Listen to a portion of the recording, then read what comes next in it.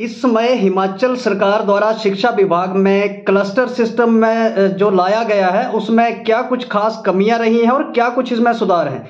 या फिर क्या कुछ इसमें ऐसा ऐड किया जा सकता है जिसकी वजह से कि शिक्षा के क्षेत्र में और भी कुछ ज़्यादा सुधार सुझाव होंगे? बातचीत के लिए इस वक्त हमारे साथ मौजूद हैं प्राथमिक शिक्षक संघ जिला कांगड़ा के महासचिव कुलदीप पठानिया जी।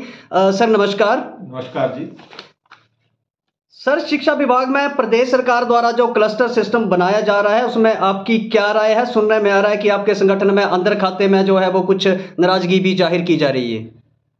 सर्वप्रथम तो मैं आपके चैनल के माध्यम से जो है वो अपने शिक्षक साथियों को और सरकार को भी इसकी कमियाँ और जो इसमें सुधार हुए हैं, उनके बारे में अवगत करवाना चाहूँगा। तो सर्वप्रथम तो मैं चाहूँगा कि हमारे शिक्षक साथियों को एक भ्रम में डाला जा रहा है कि ये आदेश है। पहले तो पहली बात तो ये है कि ये ओनली फॉर गाइडलाइंस है। इसके संदर्भ में हमारे प्रदेश स्तर के जो हमारा संगठन है, प्राथमिक शिक्षक संघ रजिस्टर्ड यूनियन है और सबसे बड़ा संगठन हिमाचल प्रदेश में जो है, वो इस समय जो है प्राइमरी टीचर फेडरेशन है। उसका प्रदेश स्तर का प्रतिनिधि मंडल और जो है, वो पहली तारीख को निदेशक प्रारंभिक श्री आशीष कोहली जी से मिला है। उनके साथ काफ़ी इस मुद्दे पर चर्चा हुई है और उसके बाद उसी दिन शाम को हमने समय मांगा शिक्षा सचिव से सचिव से। तो आदरणीय शिक्षा सचिव श्री राकेश कंवर जी ने हमें जो है वो दो दिसंबर का पिछले कल सुबह दस बजे का समय दिया था और दो घंटे तक उनके साथ भी इस विषय पर चर्चा हुई है।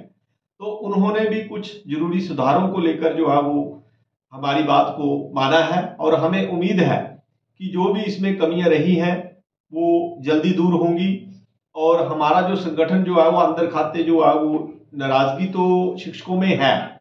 क्योंकि पूर्व में जब 84 में हमारे बीम अलग अलग हुए थे, प्रारंभिक और उच्च इसके संदर्भ में हम सरकार का भी धन्यवाद करते, करना चाहेंगे कि सरकार ने शिक्षा के क्षेत्र में क्वालिटी एजुकेशन पर थोड़ा सा ज़ोर दिया है। तो इसमें माननीय मुख्यमंत्री, हिमाचल प्रदेश और शिक्षा मंत्री हिमाचल प्रदेश का भी हम धन्यवाद करना चाहेंगे और अन्य हमारे जितने भी ऑफिसर हैं शिक्षा विभाग में, उन सभी का। लेकिन, इसमें बहुत सी कमियाँ जो है, वो वो भी है, कुछ खूबियाँ भी हैं तो मैं पहले जो है वो सर, इसमें सबसे पहले अगर बात करें हम इस क्षेत्र में किए गए जो क्लस्टर सिस्टम है, इसके सुधार पर ही बात करें तो आपकी नज़र में ऐसे क्या सुधार हैं जो सरकार की तरफ़ से किए गए? सुधार सरकार की तरफ़ से किए गए हैं, क्योंकि हमारे प्राथमिक स्कूलों में पहले जो है वो इतने संसाधन नहीं होते थे, जैसे कि हमारे पास इंफ्रास्ट्रक्चर की बड़ी कमी रहती थी ग्राउंड आदि की समस्या रहती थी रूम्स भी हमारे पास अवेलेबल नहीं होते थे। और इसके साथ मैं बात करूँ तो आईसीटी लैब जैसे जो है वो उपकरण जो है वो केवल और केवल उच्च पाठशालाओं में है। उनको साझा करने के लिए सरकार ने जो कदम उठाया है, उसके लिए तो मैं सरकार का धन्यवाद करना चाहूँगा।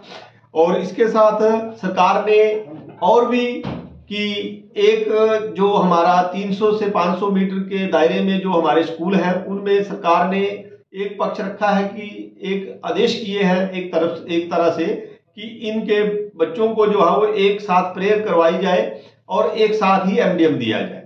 तो ये तो मैं सरकार को बताना चाहूँगा कि ये पूर्व के देश भी थे कि प्रार्थना सभा जो है वो एक कम्प्लेक्स में एक साथ होती थी और एमडीएम भी एक कम्प्लेक्स में एक साथ होता था। ये तो पूर्व के देश हैं। इनको द्वारा से किया है, लेकिन फिर भी हम सरकार के देशों का, को जो मानते हुए जो है वो जो, जिन पाठशालाओं में ये कार्य नहीं होता था, उनसे अनुरोध करेंगे कि वो लोग भी इन, इस, इन चीज़ों में सुधार करें और सरकार के देशों को माने। लेकिन बहुत सी चीज़ें जो है जिसमें कमियाँ रह गई हैं तो वो चीज़ें भी अभी खुलकर सामने आ रही हैं। जैसे जैसे दिन बीते हैं, बीत बीत रहे हैं, हमारे शिक्षक साथियों में जो है वो कुछ चीज़ों को लेकर संशय जो है वो बना हुआ है। सर आप पूरे जिला कांगड़ा को इस समय जो है वो लीड कर रहे हैं। और सीधी सीधी बात करें तो इस गाइड जो सरकार द्वारा जो गाइडलाइन जारी की गई हैं इसमें ऐसी कौन सी कमियाँ रह गई हैं कि जो आपका संगठन जो है वो अंदर खाते कहीं ना कहीं इस प्रणाली का जो विरोध भी कर रहा है? सर इसमें कमियाँ तो बहुत बहुत बहुत है। क्योंकि जो जो गाइडलाइंस जारी हुए हैं, अगर तो कल शिक्षा सचिव ने जो आश्वासन दिया है, वो अगर दूर कर देते हैं तो कोई ऐसी बात नहीं है। हम उनका धन्यवाद भी करेंगे और हमें भरोसा भी है सरकार पर और शिक्षा सचिव और अन्य शिक्षा अधिकारियों पर कि जल्दी ही वो हमारी बात को जो उन्होंने दो दिन में सुनी है, उसके ऊपर जल्दी ही अमली जमा पहन, पहनाएँगे। लेकिन कमियों की बात करें तो सर्वप्रथम सबसे बड़ी कमी जो आ रही है जैसे हमारे 300 से 500 मीटर के स्कूलों को जो अब अंदर के दायरे के स्कूलों को क्लब किया जा रहा है तो उसमें सबसे बड़ी कमी है कि जो हमारे एमडीएम के वर्कर होते हैं, गरीब जनता, जो कि जिनका रोज़गार चला हुआ है कईयों के तो परिवार इसी इसी कार्य से चले हुए हैं, जैसे विडो लेडीज़ जो उनके बच्चे छोटे छोटे हैं तो एक स्कूल में वो खाना बनाने का पैंतीस सौ, छत्तीस सौ रुपये सरकार से ले रही हैं तो अगर हम स्कूलों को क्लब करें तो जो मेरा स्कूल अपना है और उस, हमारे सराउंडिंग में एक हाई स्कूल है तो उसकी, हम अपने स्कूल की बात करें तो मेरे स्कूल में अठत्ती बच्चे इनरोल्ड हैं, सात बच्चे प्री प्राइमरी में हैं। तो अगर हमारे 45 बच्चे हैं और दूसरे स्कूल में मान लो 40 बच्चे होंगे तो कुल मिला के 85 बच्चे होंगे और वहाँ से दो कुक हेल्पर को बाहर जाना पड़ेगा, घर बैठना पड़ेगा। तो ये तो सबसे बड़ी कमी मैं इसको मानता हूँ। सरकार की ओर से हमारी सरकार से ये गुजारिश रहेगी कि इन लोगों को का रोज़गार भी इससे छिन रहा है तो ऐसे फरमान जो है वो ना जारी किए जाए। और दूसरी बात, जब 300 मीटर से लेके 500 मीटर के बच्चों को अगर एक जगह पे हम प्रार्थना सभा के लिए सुबह इकट्ठा करेंगे और सेस में जब हम उन बच्चों को दोबारा इकट्ठा करेंगे एमडीएम के भोजन के लिए, पीएम पोषण योजना के तहत जो हमें खाना मिल रहा है तो उन बच्चों का आने जाने का समय जो है वो सुबह भी बर्बाद होगा। और दोपहर को जब बच्चे जाएँगे तो जाने में जो आधा किलोमीटर जब बच्चे चल के जाएँगे, मान लो 400 मीटर है तो छोटे बच्चे होते हैं हमारे पास प्राइमरी स्कूलों में, क्योंकि हमें जो है वो सेकेंडरी स्कूलों के साथ जोड़ा रहा है। तो जब हमारे बच्चे छोटे छोटे बच्चे जाएँगे तो उनका समय भी ज़्यादा लगेगा। तो हमारा जो आधा घंटा रिसर्च के तीस मिनट होते हैं, वो तो मेरे को लग रहा है कि आने जाने में ही बीत जाएँगे और खाना खाने में और बच्चों को वापिस लाने में कम से कम डेढ़ घंटा चाहिए। तो यहाँ पर भी हमें जो है वो कमी साफ़ साफ़ नज़र आ रही है और इसके साथ बच्चों की पढ़ाई का समय जो है वो वो भी बर्बाद होगा। तो ये कमी है।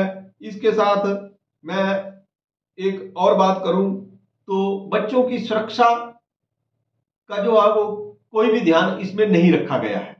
वो भी सबसे बड़ी कमी है। क्योंकि जब 300 से 500 मीटर के स्कूलों को हम क्लब करेंगे तो कुछ जगहों पे ऐसा होगा कि नेशनल हाईवे बच्चों को क्रॉस करके पार जाना पड़ेगा।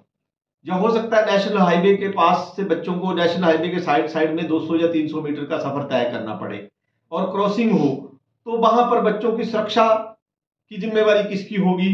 और क्या हमारे पास इतने संसाधन हैं कि हम बच्चों को सुरक्षित तरीके से ले जा सकें और वापिस ला सकें? ये भी एक बड़ा कारण रहा है। और इसके साथ कमियों की बात करूँ तो पूर्व में मैंने पहले भी बात रखी है कि हमारे शिक्षक साथियों का पहले भी शोषण होता रहा है, क्योंकि 84 में जब हमारे बींग अलग अलग हुए थे तो उस समय जो हालात प्रदेश में बन गए थे, और अभी भी ये शोषण जो है वो शुरू हो गया है। छुटपुट खबरें जो है वो हमें संदेश मिलने शुरू हो गए हैं कि फलानी जगह से ये समस्या मैं अभी उनको जागर नहीं करना चाहूँगा, लेकिन ये समस्याएँ दिन प्रतिदिन आएँगी, और हमारे अधिकारियों को इन्हें सॉल्व करने में भी बड़ी परेशानी आए, आएगी आए दिनों में। तो ये जो है वो हम नहीं चाहते कि जैसे चला था वैसे चलता रहे।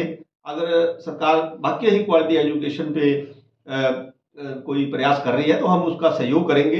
हमारे शिक्षक बंधु जो है वो हम कतई नहीं चाहेंगे कि हमारे स्कूलों में संख्या घटे हमारे स्कूलों में पढ़ाई का शिक्षा का स्तर जो है वो नीचा हो। हम चाहेंगे कि लेकिन कमियाँ हमारे स्कूलों में जो है वो बहुत सी हैं। और हमने काफ़ी सुझाव जो है कल की बैठक में भी शिक्षा सचिव को और उनके साथ हमारे प्रारंभिक उच्च निदेशक डॉक्टर अमरजीत जी भी उपस्थित थे उस समय। उनके साथ हमारे प्रारंभिक शिक्षा निदेशक आदरणीय श्री आशीष कोहली भी, भी जी भी वहाँ उस बैठक में उपस्थित थे। तो हमें भरोसा है कि शिक्षा मंत्री जी से भी हम कल शाम को इसी सिलसिले में मिले थे तो उनकी तरफ़ से भी हमें आश्वासन दिया गया है लेकिन आने वाले समय में क्या जो चेंजिंग जो इन गाइडलाइंस में होती है उनका हमें इंतज़ार रहेगा। सर क्या कुछ बातचीत आपकी अधिकारियों के साथ जो जिस तरह से आपने कहा कि आपकी बातचीत हुई उसमें से कुछ सुझाव आपकी तरफ़ से भी दिए गए होंगे? आ, कुछ सरकार की तरफ़ से भी सुझाव दिए होंगे या अधिकारियों की तरफ़ से भी? आपकी तरफ़ से ऐसे कौन कौन से सुझाव हैं जो कि अधिकारियों को या आ, आ, सरकार को दिए गए हैं जिससे कि इस शिक्षा के क्षेत्र में जो है थोड़ा सा और बेहतर बढ़िया हो सके? सर, हमने हमारे संगठन के पदाधिकारियों ने बहुत अच्छे अच्छे सुझाव जो है, कल आदरणीय शिक्षा सचिव, आदरणीय शिक्षा मंत्री, आदरणीय शिक्षा उच्च निदेशक आदरणीय शिक्षा प्रारंभिक निदेशक को बहुत अच्छे सुझाव दिए हैं कि केवल और केवल प्राइमरी प्राथमिक पाठशालाओं के क्लस्टर को अगर क्लब किया जाए तो वहाँ शिक्षा का सुधार जो है, वो शिक्षा में बहुत ज़्यादा सुधार के चांस हैं। और हमारे हम चाहेंगे कि स्कूलों को हमारे प्राइमरी स्कूलों को क्लब किया जाए और एक जगह पे अगर बच्चों को इकट्ठा करके वहाँ पर क्लास टीचर दिया जाए तो मैं चाहूँगा एक सरकार की योजना और भी है कि मतलब सभी बच्चों को जो है वो आ, आ, आ, क्या बोलते अलाउंसेस दे, दे के जो है वो एक जगह इकट्ठा किया जाए ट्रैवलिंग लॉस दे के अगर सरकार वहाँ इकट्ठा करती है और हमारे स्कूलों को क्लब करें प्राइमरी स्कूलों को क्लब करें, ना कि हमें जो है वो हायर के साथ जोड़े। तो ये बहुत बड़ी जो कमी जो है आने वाले दिनों में मेरे को नहीं लगता कि शिक्षा का स्तर जो है वो इस गाइडलाइंस के अनुसार जो है वो ऊँचा उठेगा। तो ये अगर ऐसी व्यवस्था रही तो हमें लगता है कि आज प्रदेश अठारहवें नंबर पर है तो शायद कहीं बीसवें नंबर पर ना चला जाए। तो इसके लिए आदरणीय शिक्षा सचिव ने हमारे सुझाव मांगे हैं। हम जल्द ही उनको सुझाव देंगे, लेकिन जो संशोधन की गाइडलाइंस में संशोधन की ज़रूरत है, अगर वो हो जाती है तो हम आगे प्रयास करेंगे कि शिक्षा सचिव से और शिक्षा निदेशक से मिलकर जो है वो इन चीज़ों पर सुधार लाने के लिए जो है हम प्रयासरत रहेंगे और अपने शिक्षक साथियों से भी गुजारिश करेंगे कि क्वालिटी एजुकेशन के ऊपर हम सरकार का पूरा सहयोग करेंगे, लेकिन हमारे अधिकार किसी भी तरह से जो है वो उनका हनन नहीं होना चाहिए। अन्यथा हम किसी भी स्तर पर जाने के लिए भी विवश होंगे।